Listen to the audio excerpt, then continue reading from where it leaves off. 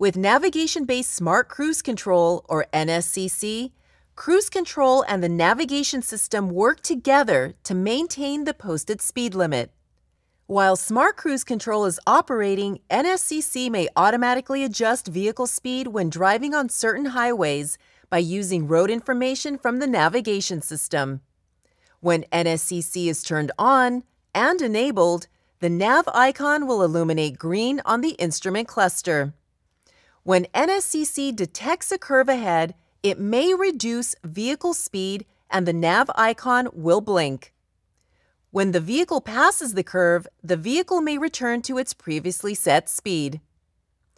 A gray nav indicator will appear on the instrument cluster when NSCC is temporarily unavailable due to a pause or rerouting.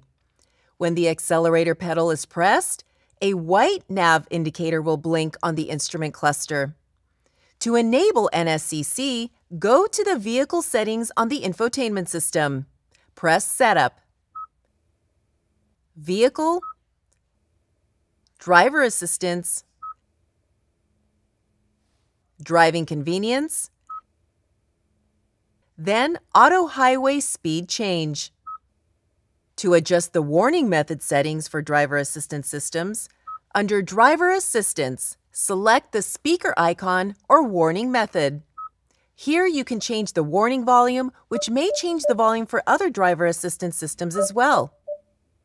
Selecting Haptic Warning activates the steering wheel vibration warning on certain driver assistance systems. Lane Safety Audible Warning Off turns off the audible warning for lane safety features.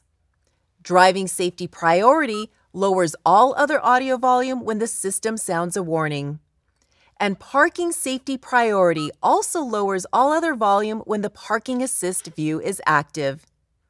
For additional information, refer to your owner's manual. You can also go to the Kia Features and Functions videos YouTube channel or the Kia Features and Functions Quick Reference Guide. Thanks for watching.